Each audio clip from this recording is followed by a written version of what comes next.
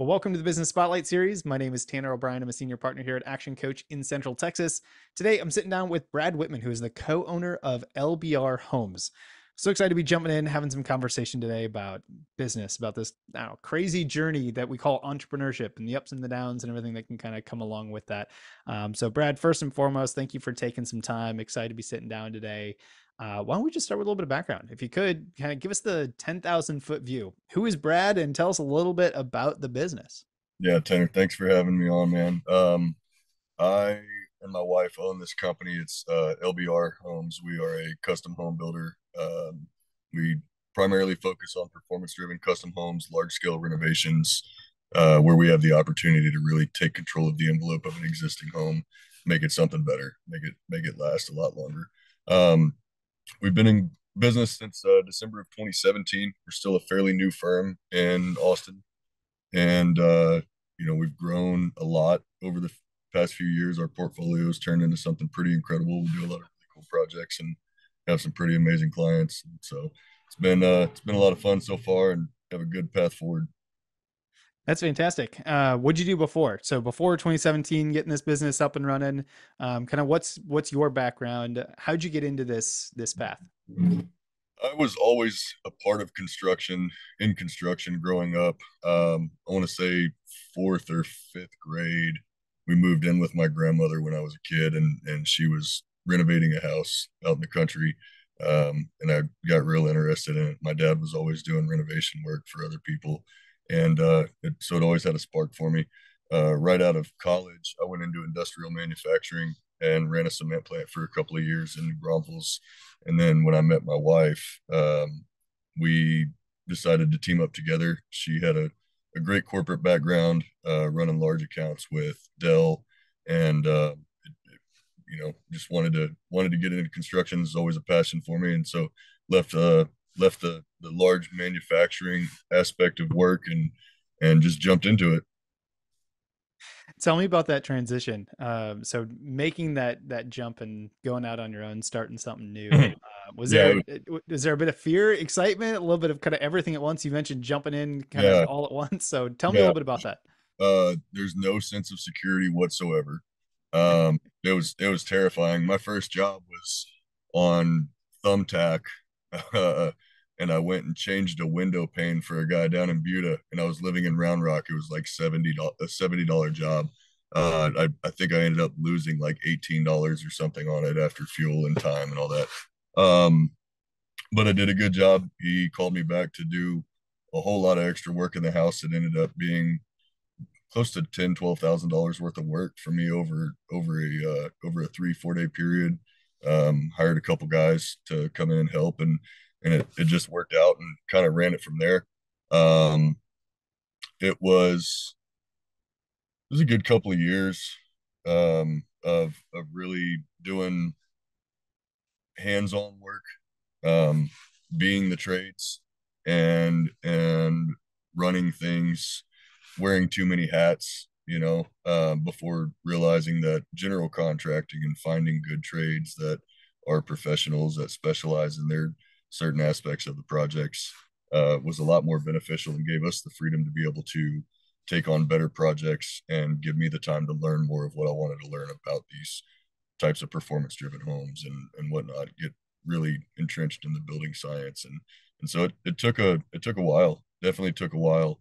Um, luckily Joy had a good job when, when I, I left a very good job to move up here and, and start this journey um, but it's it's it's turned out to be pretty successful, and so it's been a lot of fun.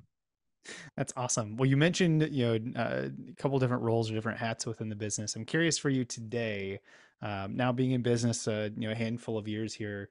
Uh, what role do you play in the business today, and how has that changed over the last couple of years? So I still manage 100% of the pre-construction, the the estimating, the client and architectural relationships, um, and then I am the field operations director. So everybody in the field is under me uh, in a sense of a reporting standpoint to um, to make sure that I've still got my hands on every aspect of every job and have the ability to retain the information that I need uh, to be able to come in and see something and know if it's right or wrong um, without having to actually manage the project anymore. So I still manage a couple of projects on my own, depending on the scale of the project. Uh, I don't think I'll ever get away from from being a project manager. That's that's what I love. Um, so there, regardless of how our company grows, I will still have one or two projects of my own going on. Um, but those are those are my primary roles. I love it. So if project management is one of the ones that you enjoy and may keep at least a portion of for for a while. How about the other end of the spectrum? What's what's like some of the roles or the hats that you have to wear today that as soon as you can hand it off to somebody else, like that's going to be the first one to go? Um, we are actively looking for a pre-construction manager, somebody somebody that can do the um the estimating for the project and get me out of that aspect of the chair. Um, that's a that's a that's a big deal and a big time suck for us. Um, we're we're pushing seven to ten million dollars a year and and uh, gross revenue on projects, and with that, the, the size of our team, uh, I put a lot of hours in to be able to keep up with a lot of the pre-construction work and field management still. So that'd be a good one to to get off the chest. I love it. I love that you you had a like simple answer for it and are already in the process of of looking for someone um, that is that's amazing. So let, let's talk a little bit about the business itself. I always like to ask the general question of like who does your business serve? Now the way i like to frame this is if i'm in the audience and i'm watching this later on how do i know that i might be a really good fit for y'all services or i might know somebody that i can refer over to you um a couple of questions there so if you're watching this and you want to know if you're a fit for us, the things that I say they have to resonate with you. Um, as far as a client that's looking for a builder, that's looking for somebody like us, um, and and what we're looking for in a relationship with a client is first and foremost, it needs to be somebody that's got the understanding of what it takes to build a fine home.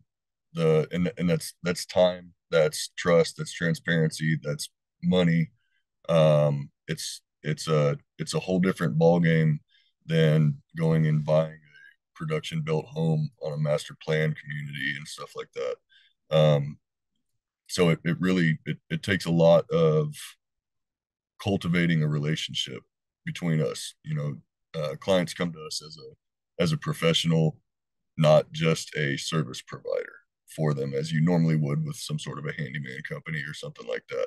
And so um, and we spend a lot of time up front with with clients um, in our in our initial meetings, making sure that it's going to be the right relationship because we're a we're a family owned company. My wife and I own this this company. We run everything, um, and it's not worth the stress for having you know crappy clients and it's also not worth the stress for a client to to work with a builder regardless of how good their work is to work with somebody that they don't get along with and that you know that that's not a that's not a good mix.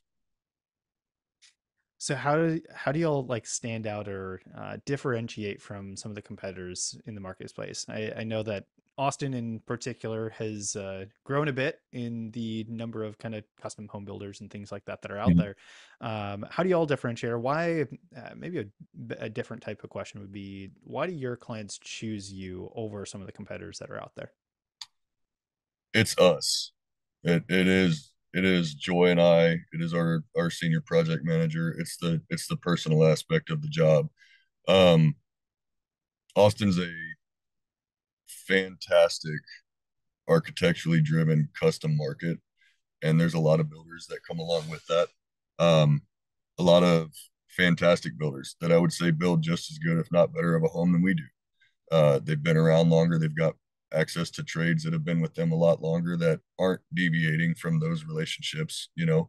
And we're still we're still building our trade list. We're we're refining that you know yearly.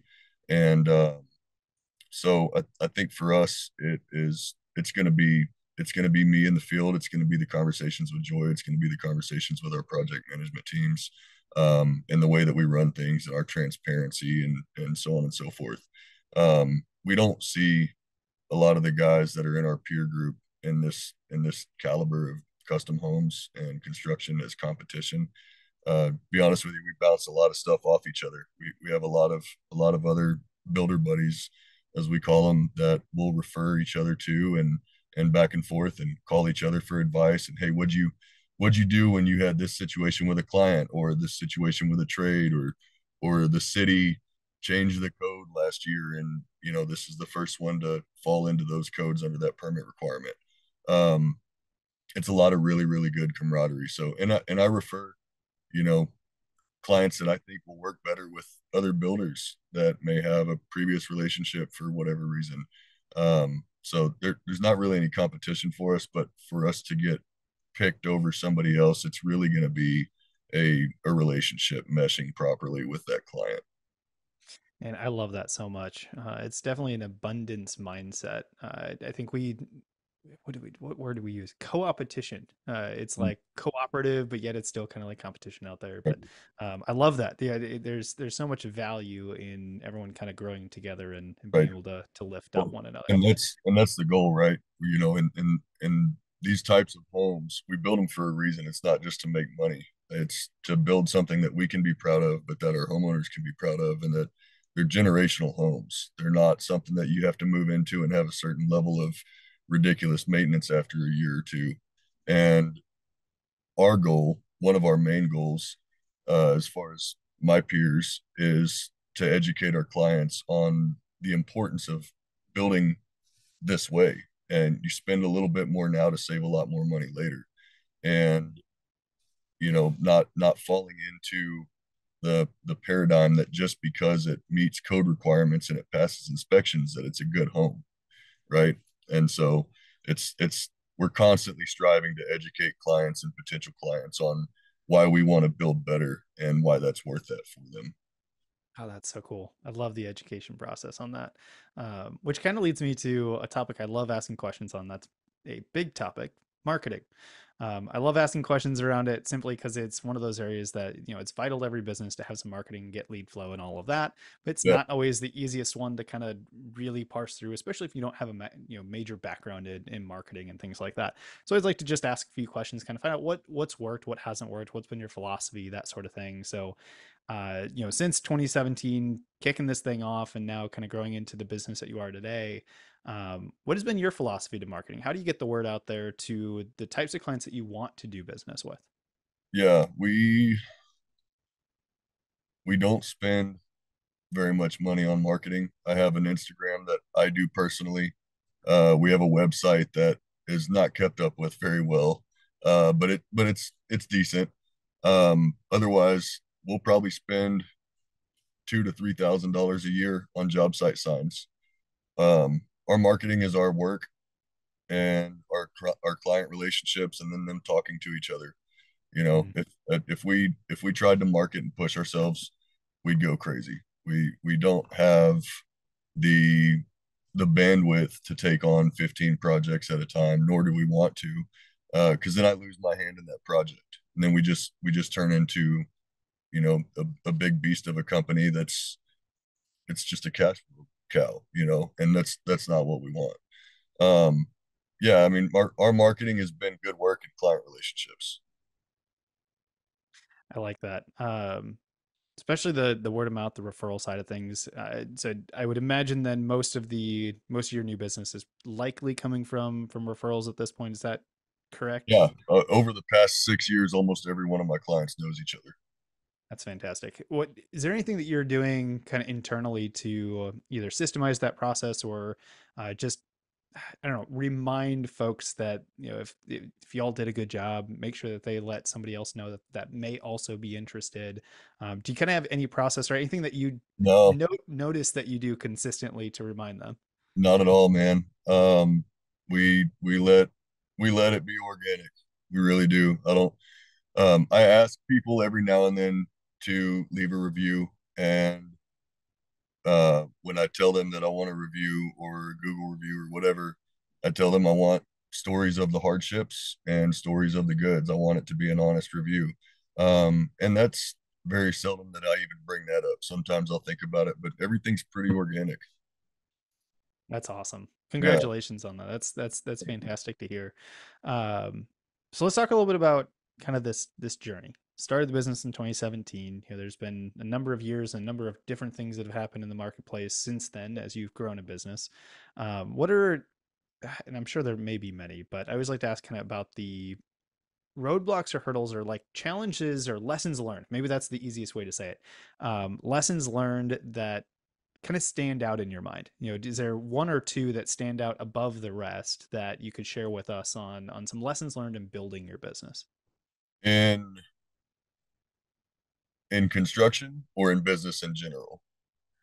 Either one. Um, business in general, you know, can apply to to everyone, but I'm I'm Yeah. guessing there there's some things even if you were to answer it from a construction perspective that still would resonate. Yeah, there's definitely some more niche answers that can fall in line with that from a from a construction standpoint. Um, business in general, slow down and you know, don't be afraid to take the leap, but slow down and be methodical about it. Um, you rush into it, you grow too fast, you get too big, you lose sight of why you're doing it, and and you're done, right?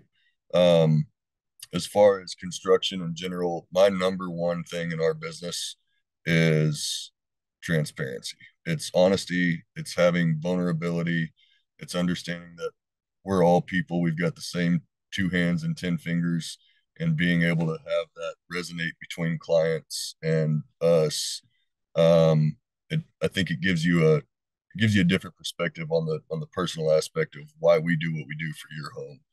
Um, and so being being transparent, not trying to be shady businessman and pull all the dollars that you can, uh, I think that'll go a lot further in our industry, at least. Hmm. So when you look to the future, when you look at like the next three to five years, um, continue to grow, continue to kind of build out the vision that you have, what does that look like? Where where does the business go? And then um, kind of as a secondary question to that, how does your role change uh, over the next three to five years? There will be a point in time where I'm not managing any more projects. Um, that's that's a given. Um, and you know that day is is dreaded. So I'm I'm definitely hyper focused and enjoying the time that I have in the field on these projects. Um, but I, I would say in the next three to five, um, I, I I probably won't have my hands particularly on any project that's directly under me. Um, we have a good field management team right now. We expect that to to double um, within probably the next two years, and then that will be a sustainable point for us as a business. As we sit right now, the business can operate without me.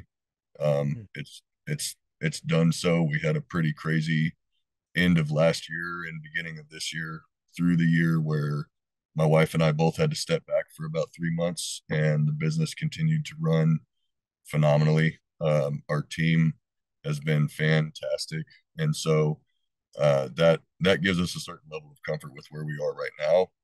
We would like to see that kind of double in size in a sense of if something else happens to anybody else or whatever the case is, you know, that that there's sustainability there and it's and it's legitimized, fully business operated. So I love that.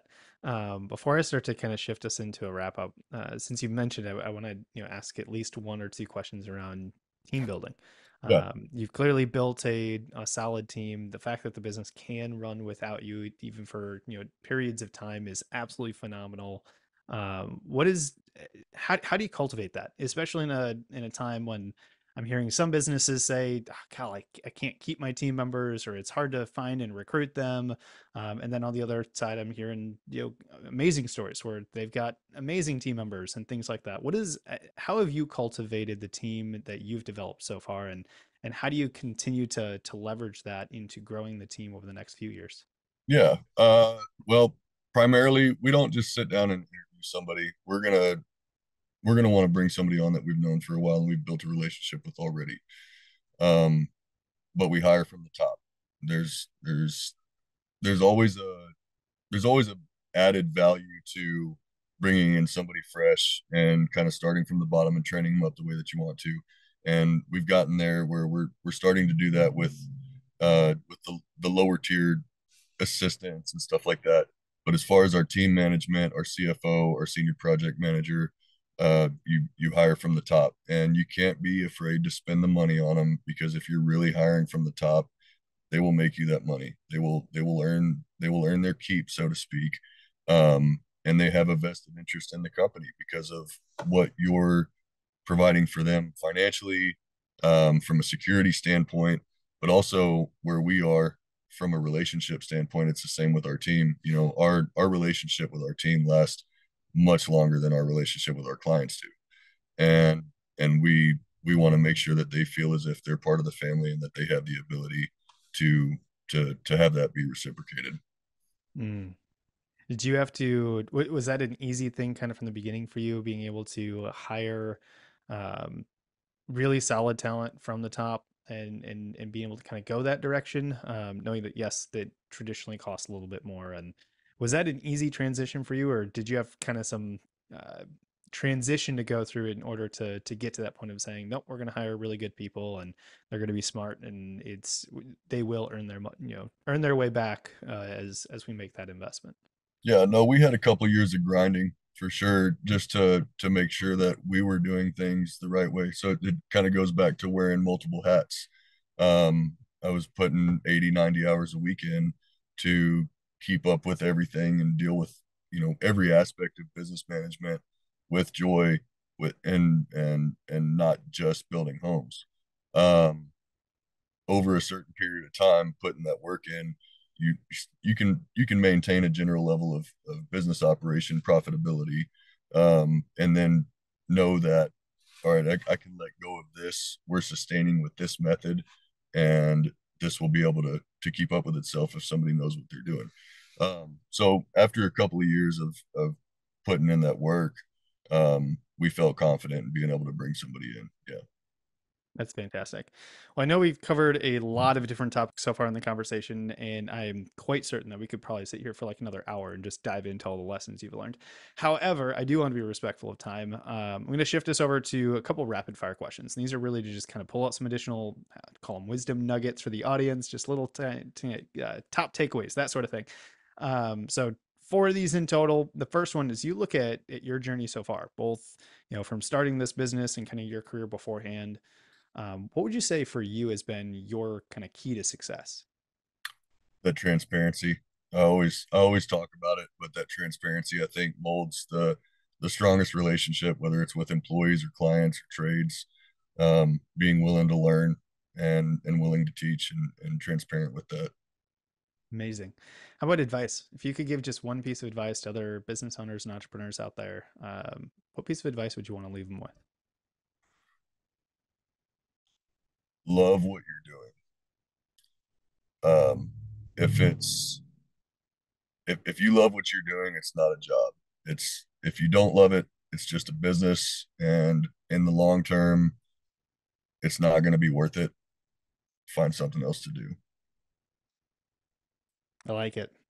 How about book recommendations? Um, I usually kind of frame this up with, unless you've got a book that just like stands out in your head, you know, what's one that you've either currently are currently reading or maybe have read most recently or listened to um, or if books aren't kind of your thing uh, podcast or kind of anywhere else that that you might be continuously learning that you would recommend for the audience yeah i i'll be a bummer on the book thing i haven't read an entire book since i was in high school um, the the I, I do a lot of uh, a lot of podcast listening a lot of research uh, I read a lot of tech data sheets on materials. I nerd out on on things that most people probably don't care to look into.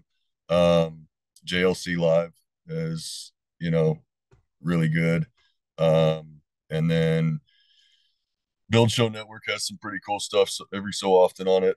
Um, and then you know Fine Homebuilding magazine stuff like that. That a lot of that's real enjoyable to me. Uh, but primarily it's it's it's tech data sheets on new materials and things that are coming out and trying to figure out you know how to how to incorporate new technology into the projects and and sustainability and you know all of that that's cool i i think that's uh it's a fun like non-recommendation i guess from a book standpoint like it's right. you know if whatever your industry is if you're watching this later being able to find kind of those um those research data sheets that you can like review on on your thing and, and be able yeah, to get you know, that, deep into it really understand that's the big thing for me is we've got such a massive access to information now that there's no excuse to not educate yourself. Um, if you're willing to look for it and you're willing to dig, you can find it and, you know, learn how to research the research, obviously figure out how it's funded and where it comes from and so on and so forth. But um, you can you can give yourself from a knowledge standpoint damn near a degree if you're willing to put in the effort to look into everything that you want to know about. Um, and then it comes to hands-on field training, working with the guys, figuring it out from there. So I love it. Uh, one more of these rapid fire questions. This one's just kind of fun. Uh, if you could choose just one area in your business, you only get to choose one, where you get to take a little bit of magic dust and just sprinkle it all over that one little spot. Um, and you wake up tomorrow, it's like 10 times better than it is today. Where would you choose to put that magic dust? Um, the distance between our projects. Ooh. I like that. We've got, um, we've got jobs from from North Austin to South Austin to Oak Hill to Marble Falls, and yeah, I think uh, I think that would be a big one. Save me two or three hours a day on the road. yeah, that uh, getting some time back on that front would be probably pretty amazing. Um, so before we get into the final question, I always like to wrap these these conversations up on for those that are in the audience, they're watching, they want to learn more about what y'all are doing, they want to connect with you personally, they yeah. uh, want to you know potentially do some business with you down the road or refer some business over. Where can they go to to find more information? Uh, our website lbrhomes.com, very simple, pops right up on Google. Uh, there is a there's an info tab on there. You can reach out. It goes directly to Joy uh, goes to our info at LBR Homes uh, email. Um, Instagram.com slash LBR Homes. I manage that personally. The DMs, uh, the photos, the feed, um, or just Google. You know, it's it's pretty easy to find us. Excellent. Well, I will make sure to put all of that in the video description below. So if you are watching this later on, once we wrap up here, make sure you go click the links, check out the Instagram page, check out the website, check out everything there. Um, maybe send them a, a, quick DM on Instagram to say, "Hey, saw you on the Business Spotlight, phenomenal conversation." Uh, make some connections because that's one of these. You know, my favorite things about the Business Spotlight is actually connecting some other business owners in the the local market here. Um, so with that, Brad, I want to you know finish up with with one final question, which is simply, what is most inspiring to you today? Um, I think where we're heading in the industry. Um, I, I, I see our our pipeline is two years out right now, um, and there's not a lot of folks that that have that. Um, what that means for me from a business standpoint and in our niche of construction is that more and more folks are becoming to the education aspect of why we build the way that we build and there are there there are more people that are that are leaning towards that and and that's and there's not enough of us to keep up with the clientele. You know there's there's 35 38 fantastic builders in the city of Austin and the surrounding areas. And um, and we're all busy. We're all busy. And so that that's exciting that the um the the shift in understanding performance driven, comfort driven homes, well built homes is it's happening. It's heavy here that is inspiring. That's exciting. Um, excited to watch just everything continue to grow, especially for you and your business. And and the, uh, just based on the conversation, there's amazing things that you've accomplished so far. So watching that continue to go and grow, I'm I'm excited for personally. Uh, but Brad, I want to say thank you again for taking the time, sharing a little bit of your your story, a little bit of your journey, a little bit about your business.